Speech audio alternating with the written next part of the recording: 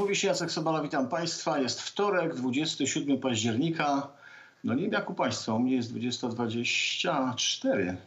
Jesteśmy na żywo.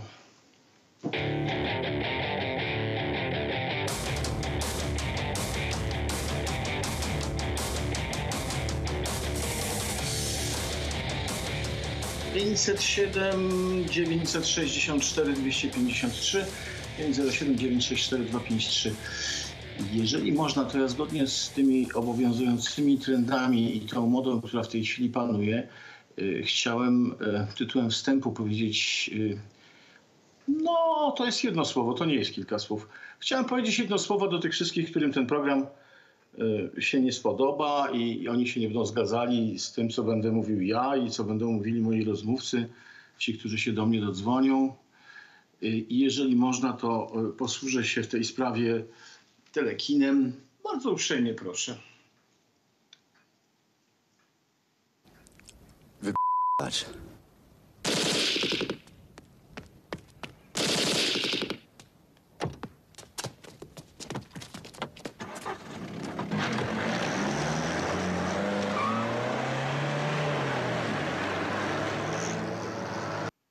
Zdecydowanie najważniejsza ze sztuk. Zdecydowanie, naprawdę. Proszę Państwa, jutro w kioskach znajdą Państwo tygodnik. Bardzo łatwo go poznać, bo na okładce jest zdjęcie premiera. Premiera to każdy widział, więc, więc, chyba, więc chyba Państwo zauważą.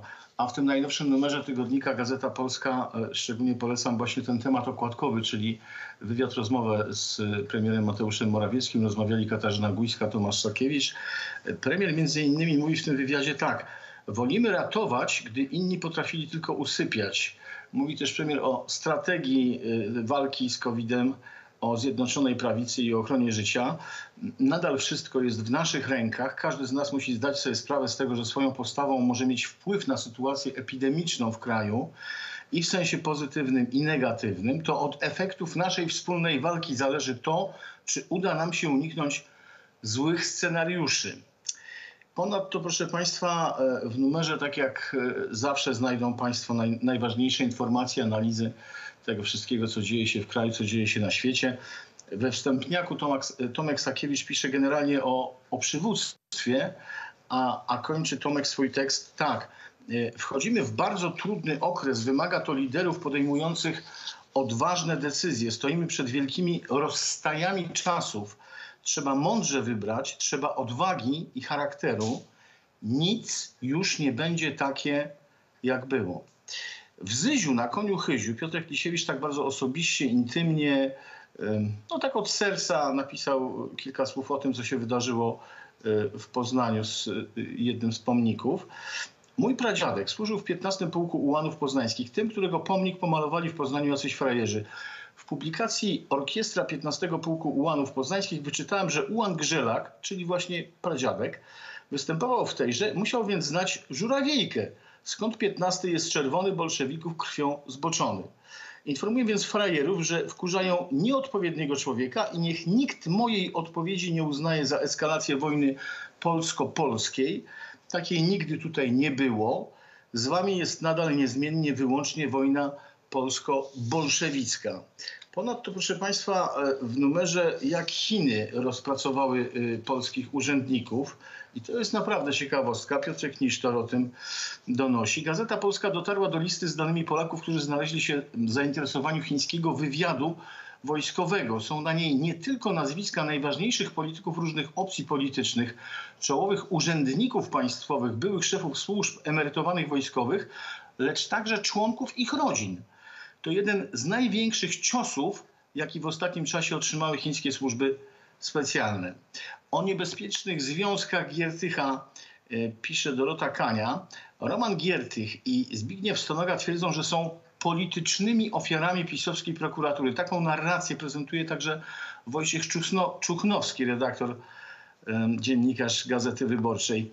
Mówienie o politycznych motywach jest jednak słabe, zwłaszcza gdy pozna się szczegóły śledztw, w których podejrzanymi są Giertych i, i Stonoga i właśnie odsyłam Państwa do lektury tygodnika, żeby Państwo te szczegóły poznali, a są, są naprawdę...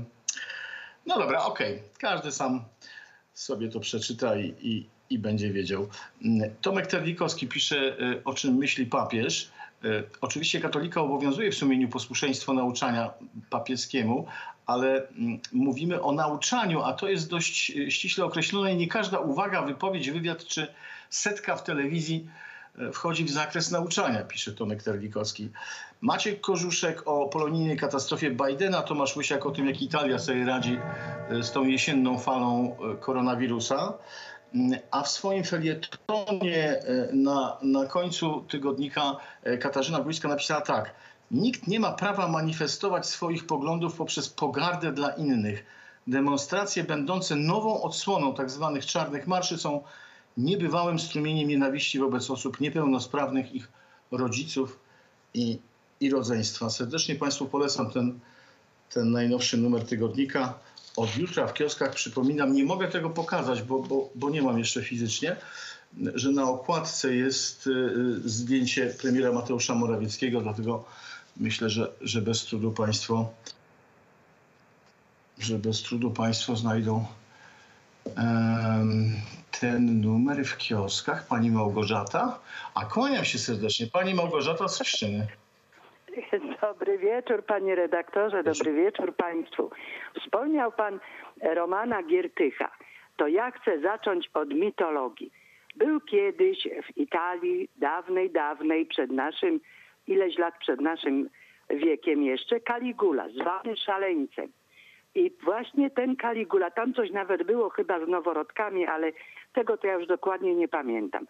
I on swojego konia Incitatusa zrobił konsulem. Ten koń miał y, w Rzymie stajnię wysadzaną y, kością słoniową, specjalną jakąś drogą obroże i my mamy też takiego swojego konia. Ja tak jakoś pamiętam, że jak są te pokazy koni, to tam się coś liczy w kłębie. Ja się na tym nie znam. Konie mi się podobają, bo są naprawdę piękne i bardzo mądre zwierzęta. I nasz y, koń, ten właśnie rodowy, nie z Janowa Podlaskiego, tylko ten polityczny, czyli Romanus Giertychus, chciał się w 2015 roku zrobić senatorem. Stajnie już sobie pod Rzymem kupił, no ale się nie udało, bo suweren go nie wybrał. A teraz powiem Państwu jeszcze tak. Jak ja patrzę na te marsze, a w Katowicach zobaczyłam Durczoka, ten, który był wywalony z TVN-u za mobbing na kobietach. Żonę oszukał na kilka milionów, już nie wiadomo. Po pijaku przejechał pół Polski. I on broni praw kobiet, to normalnie, jak mówi pan Stanisław Janecki, ręce nie opadają, tylko wypadają. A jeszcze ja powiem tak. Putin ma nowiczok, a my w Polsce mamy lewiczok. Jak ja patrzę na te szczyle, na tę smarkaterię 13-14-letnią, jak się zachowuje, to, to ja panu, państwu powiem tak. To, co chowają ci rodzice, to chowają żmije na własnym łonie. Za 10-15 lat, czy nawet 20, ci rodzice będą w moim wieku, a może i starsi. To będą ich trzymać, jak im będą dawać szpryce i wyprawiać na drugi świat. Jak się ci rodzice będą bronić. Wychowacie sobie żmije na własnym łonie. W klasie, jak powiecie coś takiemu szczylowi, to was tak zruga i nie będzie patrzył, czy to jest nauczyciel od e, broniarza, czy to jest nauczyciel inny. Wy nie wiecie, co wy robicie dla siebie. A ja tylko powiem jedno. Ta, co, czym skorupka za młodu nasiąknie, tym na starość trąci. I my się nie poddamy Lewiczokowi. Myśmy 50 ponad lat walczyli w Polsce o wolność. I takiej, takim, takim e, dosłownie ludziom, to są szaleńcy. To, to jak to ja na to patrzę, to, to mi się zdaje, że dom wariatów wietrzyli, nie ujmując ludziom psychicznie chorych, bo to też jest choroba. Ale ja tylko mam ogromny szacunek dla naszych kibiców, który z Ketino chciał, y, y, robił z nich bandytów. To są ludzie naprawdę wspaniali. A jeszcze y, słyszałam, bo już ostatnie, bo zajmuję za dużo czasu u Państwa, Schetyna chce komisję śledczą. po, z, jakąś tam. To ja powiem tak, panie, oby, wy, obywatelu Schetyno, komisja śledcza to działa już od 2015 roku, a ona jest Schetyno, to są mohery, dinozaury, watacha, szarańcza, śledzi dokładnie, co robicie. Ta komisja śledcza, da, śledcza działa w Polsce już 6 lat. I coś pan nowego wymyślił. Coś pan nowego wymyślił. Wszystkim państwu liczę cierpliwości i, i myślę, ja to niedługo potrwa. To jeszcze może tam poskakają, powariują, ale to się prędzej czy później skończy. Może troszeczkę później, ale ja myślę, że ja jeszcze doczekam. Mimo swoich lat życzę państwu wszystkiego dobrego, zdrowia przede wszystkim. Dobranoc. Wszystkiego dobrego pani, pani Małgosiu, pewnie, że zdrowia. Ja o tym Dudszoku to tak szczerze mówiąc nawet nie chciałem wspominać, no ale mnie się wydaje z tym Dudszokiem, że to jest bardzo prosta sprawa, proszę państwa. Nad facetem y, ciążą bardzo konkretne zarzuty, dwa wyroki, jeden w sprawie mm, podrobienia tego podpisu, drugi tej jazdy po pijaku. Jakby się te obie sprawy nie skończyły, one się dla niego dobrze nie skończą. No to po co on to robi? No on to robi po to, żeby później mógł, mówię o, o, o tych jego popisach tam przy, przy okazji tych protestów. On to robi po to, żeby później mógł się powoływać na, e, na to, jaką on jest wielką ofiarą polityczną i, i tyle, bo nie, nie wyobrażam sobie takiej sytuacji, ale to mo, może się mylę, biorąc pod uwagę najsztuba i nie tylko, e, żeby te wyroki były dla niego bardzo przyjemne. To najważniejsze wydarzenie polityczne e, dzisiejszego dnia to jest na pewno to oświadczenie prezesa wicepremiera Jarosława Kaczyńskiego na Facebooku Prawa i Sprawiedliwości. To oświadczenie zostało mm, e, umieszczone, opublikowane. Mm, Prezes skomentował e, protesty, e, które e, odbywają się w różnych polskich miastach. Powiedział między innymi coś takiego. Mamy stan, w którym wszelkiego rodzaju zgromadzenia powyżej pięciu osób są zakazane. Mamy stan, w którym te demonstracje z całą pewnością będą kosztowały życie wielu ludzi. Osoby, które wzywają do uczestnictwa w takich zgromadzeniach powyżej pięciu osób oraz same w nich uczestniczą, dopuszczają się poważnego przestępstwa. Władze mają nie tylko prawo, ale i obowiązek przeciwstawienia się tego rodzaju wydarzeniom odniósł się też do, y, do tych y, y, manifestacji, które, mm, do tych zachowań, które wprost są atakami na, na Kościół. Y, Kościół może być y, różnie oceniany, można być człowiekiem wierzącym albo niewierzącym. Polska zapewnia pełną tolerancję religijną, ale z całą pewnością ten depozyt moralny, który jest dzierżony przez Kościół, to jedyny system moralny, który jest w Polsce powszechnie znany. Jego odrzucenie to nihilizm, E, I ten nihilizm właśnie widzimy. Musimy bronić polskich kościołów za każdą cenę. Wzywam wszystkich członków PiS i wszystkich, którzy nas wspierają do tego, by, by wzięli udział w obronie kościoła. E, Proszę Państwa, kluby Gazety Polskiej stanęły jak zawsze po, po właściwej stronie. Dosyć profanacji i wandalizmu. Powstaje Straż Obywatelska klubów Gazety Polskiej złożona z członków i sympatyków. Jak się dowiedział portal Niezależna, w działalność Straży Obywatelskiej włączą się działacze młodzieżówki Prawa i Sprawiedliwości e, czyli Forum Młodych PiS. E, Straż Obywatelska Klubów Gazety Polskiej będzie chronić kościoły, pomniki i inne miejsca zagrożone mm, atakami ze strony e, tych lewaków. Kluby Gazety Polskiej działają w kilkuset miejscowościach w Polsce i na całym świecie. Znani z ofiarności inicjatyw patriotycznych klubowicze zdecydowali, że wobec narastającej fali agresji wobec miejsc kultu i duchowieństwa będą pilnować kościołów przed zbezczeszczeniem i fizycznymi atakami. Chętnych, i to jest istotne, chętnych do zgłoszenia się do Straży Obywatelskiej Klubów Gazety Polskiej, także osoby pragnące poinformować o jakimś problemie w ich miejscowościach, nie wiem, planowaną profanację, zakłócenie mszy i tak dalej, e, prosimy o kontakt pod numerem telefonu 887 887 641. 887 887 641. Dwa razy 887 i 641 albo o, o mail Straz Obywatelska, pisane łącznie, czyli, czyli razem, Straz Obywatelska 2020 małpa gmail.com. Proszę Państwa, jest e, kilka takich apeli, które, e, które są istotne i chciałbym, ale to może za chwilkę pan Mirek. Pan Mirosław. A, we Szwajcarii to jest inna rozmowa. Dobry wieczór. Dobry wieczór i dziękuję bardzo. Kłania się po raz kolejny Mirosław Stawiński Dobry. ze Szwajcarii. Pozdrawiam serdecznie panie Jacku. Pozdrawiam Dzięki wzajemnie. serdecznie wszystkich Polaków. Szczęść Boże. Ja chciałem się panie Jacku stosunkować do wczorajszej, do wczorajszej pańskiej wypowiedzi komentarza.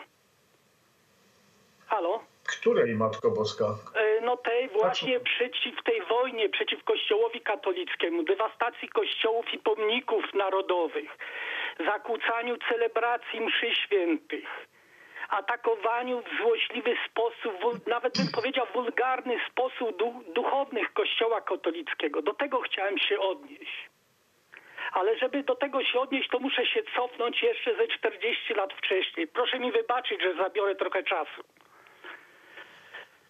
Y, przed tym, jak uciekłem z PRL-u, pracowałem w Zagłębiu Miedziowym. Dokładnie w zakładach górniczych Rudna, Główna, w Polkowicach. Na poziomie 1000 metrów na komorze maszyn ciężkich. Bardzo fajnie mi się pracowało. Kiedy w 13 grudnia 1981 roku Jarozelski ze swoją huntą wojskową, która się nazywała Wojskowa Rada Ocalenia Naro- Narodowego, wprowadził stan wojenny w kraju, w PRL-u, w kraju w PRL-u, to załoga zakładów górniczych Rudna ogłosiła strajk okupacyjny. My się tam zamknęliśmy w tym zakładzie. Tam było kilkaset pracowników zakładu. My się tam zamknęliśmy, pozamykaliśmy drzwi i czekaliśmy, co nastąpi. 17 grudnia 1981 roku nastąpiła pacyfikacja ZOMO, milicji przy udziale Ludowego Wojska Polskiego, którzy uczestniczyli w pacyfikacji Rudnej Głównej w Polkowicach. Wtedy jakoś w ogóle te ZOMO dokonało niesamowitej dewastacji zakładu, wybijając szyby, niszcząc wszystko, nawet niszcząc cechownię z ołtarzem, z krzyżem. Wtedy wielu górników, ja bym to rzekł, nie chcę podawać żadnej liczby, żebym nie wprowadzał nikogo w błąd. Wielu górników przedostało się przez te zapory zomowsko, zomowsko-milicyjne i Ludowego Wojska Polskiego i wydostało się na zewnątrz i stanęliśmy wszyscy na takiej ulicy przed zakładem. Wtedy w zwartym szeregu, tam było kilka, ja tak myślę, tam było kilkaset osób, ale ja nie chcę podawać liczby, żeby mnie wprowadzał w błąd. Tam było kilkaset osób, które w zwartym szeregu, łapio, łapiąc się pod ramę, ruszyliśmy w kierunku Polkowic. To jest bardzo ważne, co chciałem teraz powiedzieć. Ruszyliśmy w kierunku Polkowic. Niestety milicja i ZOMO zablokowało drogę dojścia do Polkowic. To więc my wszyscy, te kilkaset osób skrótem przez pola, przez łąki, przez lasy, poszliśmy na Polkowice. Tam w Polkowicach doszło do niesamowitych starć policji z górnikami. I pamiętam taki moment, że z kilkoma górnikami rzuciliśmy się na zaporę zomowską. Udając nam się ją przedostać. I w, te, w tej ucieczce przed ZOMO, które nas goniło, schowaliśmy się w kościele parafialnym w Polkowicach. I to o dziwo, ZOMO i ta cała milicja doleciała chyba ze 4 metry do kościoła, do drzwi i się zatrzymała. Oni tam strzelali tymi swoimi petardami i tym wszystkim, ale oni nie weszli do kościoła katolickiego. A my staliśmy w drzwiach wyzywając ich, wyzywając ich od gestapo i tych innych. Oni mieli siłę. Oni mieli karabiny kałasznikowy i może jeszcze ostrą amunicję. Oni mieli petardy, pałki, maski, wszystko. Oni mieli siłę, a co najważniejsze, oni mieli prawo, bo byli bezprawiem i mogli robić wszystko. A jednak do kościoła nie weszli. Korzystając z chwilki nieuwagi tych zomowców, z kilkoma kolegami wyrwaliśmy się, żeby uciec do plebanii, proboszcza w Polkowicach. I udało nam się to. Oni nas znów jak zwykle gonili, żeby nas tam chwytać i gdzieś tam zatrzymać czy coś, ale oni tylko, ci zomowcy dolecieli do plebanii w Polkowicach, do księdza proboszcza i się zatrzymali. Oni nie weszli na posesję plebanii kościelnej. Ja chciałem powiedzieć, że wtedy policja nie wchodziła do kościołów, nie wchodziła na plebanie kościelne. I dzisiaj, jak to widzę, przepraszam, że użyję tych słów, dzisiaj, jak to widzę, zawszańską bolszewię lewacką, która wchodzi do kościołów, przerywa msze i to wszystko robi, to mówię, żygać mi się chce. Jak widzę, co wychowało trzecie RP, bo jak widzimy to wszystko, to widzimy, że to są ludzie młodzi. To nie są jakieś kobiety w wieku 50-60 lat. To są ludzie młodzi, to są młode kobiety. Może mają po 19, po 20 lat. To jak ja to widzę, co wychowało ta, co wychowała ta trzecia RP transformacja przez 26 lat ja liczę do 2015 roku, bo jak PiS doszedł do władzy, to próbuje to wszystko zmienić. To mi się aż żygać chce. Co z tego polskiego narodu wyrosło, z tych młodych ludzi? I jeszcze jedno powiem. 123 lata zaborów polskich nie zmieniło Rzeczypospolitej Polskiej, nie zmieniło mentalności polskiej, tak jak zmieniło te 26 lat transformacji ustrojowej. Dziękuję i zostańcie z Bogiem. Kłaniam się Panie Mirku, pozdrawiam serdecznie. No bo to jest neobolszewia i to jest taka lewacka dzicz, której, której nic nie zatrzyma, tylko właśnie siła i dlatego słusznie prezes mówi, że musimy powiedzieć, powiedzieć nie. Proszę Państwa, Wczoraj rozmawialiśmy o tym, że, że tam nie chodzi o żadną aborcję. Dzisiaj maski opadły. Te miłe panie zorganizowały taką konferencję e, prasową, na której e, powiedziały o co, o co im chodzi. E, te postulaty wykraczają poza to, czym ogólnie zajmuje się strajk kobiet. To nie są postulaty wyłącznie kobiece. E, czujemy na sobie dużą odpowiedzialność w tym momencie, bo wszystko zaczęło się od restrykcji aborcyjnych, ale to się rozlało ogólną falą frustracji, gniewu, niezadowolenia obywateli. Tak mówiła Klementyna Suchanow ze sztabu e, tego ogólnopolskiego strajku kobiet. Żądamy po prostu pełni praw kobiet. To, co się dzieje w tym kraju, to całkowite powolne dobijanie różnych sfer, gdzie kobiety tracą przywileje, prawa, które miały, opiekę państwa i tak dalej. Teraz, jakie są w takim telegraficznym skrócie te postulaty mm, e, tych, tych kobiet? E, wypier tralalać z oświadczeniem Przyłębskiej, wypier tralalać z Przyłębską. Chcemy prawdziwego Trybunału Konstytucyjnego, chcemy prawidłowego Sądu Najwyższego w całości, chcemy prawdziwego Rzecznika Praw Obywatelskich, chcemy nowelizacji budżetu, kasę na ochronę zdrowia, pomoc dla pracowników, przedsiębiorców kultury, prawdziwe wsparcie dla osób z niepełnosprawnościami. Chcemy pełni praw kobiet, legalnej aborcji, edukacji seksualnej, antykoncepcji. Chcemy pełni praw człowieka, od kiedy to aborcja jest prawem człowieka. Chcemy świeckiego państwa, w tym zaprzestania finansowania kościoła z budżetu państwa i wypiertralać z religią ze szkół. Chcemy dymisji rządu, powołujemy radę konsultacyjną, jak na Białorusi, no i tak dalej, i tak dalej. Pan Andrzej Zewsławek, kłaniam się panie Andrzej, dobry wieczór. Serdecznie pozdrawiam, kłaniam się bardzo serdecznie. Panie Jacku, ja e, oczywiście zostaliśmy wezwani do obrony e, Kościoła jako klubek Gazety Polskiej. Jestem przewodniczącym Wrocławskiego Klubu, jak już pan wie o tym. I chcę tylko powiedzieć jedną rzecz. Ja mam wielką prośbę, ja mam wielką prośbę do e, e, władz. Proszę pana, jest przez, niech przestaną prosić, niech przestaną apelować. Do kogo tu apelować? Lekarze wychodzą, my apelujemy. Dzisiaj pan e, profesor Czarnek, my apelujemy. Proszę pana, co za apele? Jak, do kogo? Do kogo pytam się?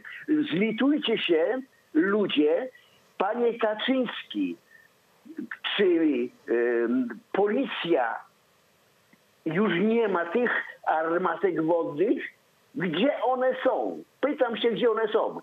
Są, tylko po prostu policja y, nie ma, nie ma takiego rozkazu. I to jest właśnie, bo proszę pana, my, ja na przykład rozmawiałem z klubowiczami i chcę panu powiedzieć tak, ja mam dwóch wnuków, moja córka jest wdową, młodą wdową i ja muszę chronić tych dzieci. Ja oczywiście zrobię wszystko, tylko jest, proszę wszystko, y, błagam, potrzebuję 10 kałaszników. 10 kałaszników ja wzywam, proszę y, do władz. Proszę Kamińskiego, proszę pana premiera. Ja chcę 10 kałaszników i załatwię tą sprawę. Nie będę błagał o nic. Dziękuję. Panie Andrzeju, ja z tym liną na, pocz- na początku to żartowałem. No, ludzie, błagam, no, nie, nie zachowujmy się, jak nie przymierzając ten, za przeproszeniem, co teraz go Państwu na koniec pokażę. Sławomir Nitras, dzisiaj w Sejmie, proszę Państwa, zrobił coś takiego, zachował się tak. Uwaga, telekino, bardzo proszę.